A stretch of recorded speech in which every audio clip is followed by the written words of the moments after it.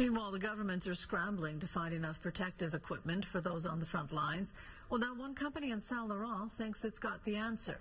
It's designing a device that sanitizes N95 masks quickly so they can be reused. Andrew Brennan has that.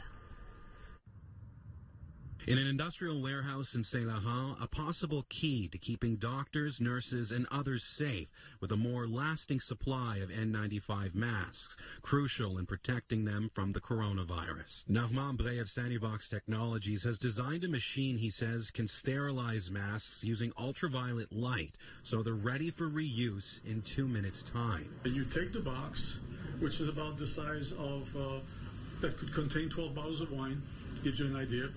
You open the box, take off your mask, put it in, close the box, wait two minutes, take a cup of coffee, and uh, reopen.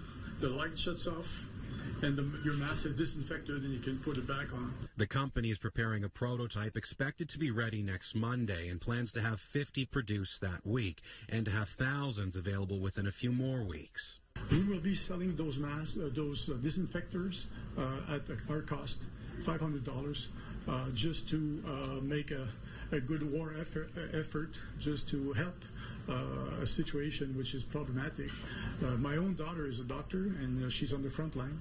And if we start losing people on the front line, the problem will be much bigger. The company also makes machines for sanitizing rooms and ventilation and heating systems. Those are not in hospitals in Quebec, but are used around the world. And Sanuvox's president says they would be more effective than current cleaning practices to sanitize hospital rooms after COVID patients are discharged. I know that people will try their best to make sure that all surfaces have been covered with the chemicals, but the UV will do everything in line of sight.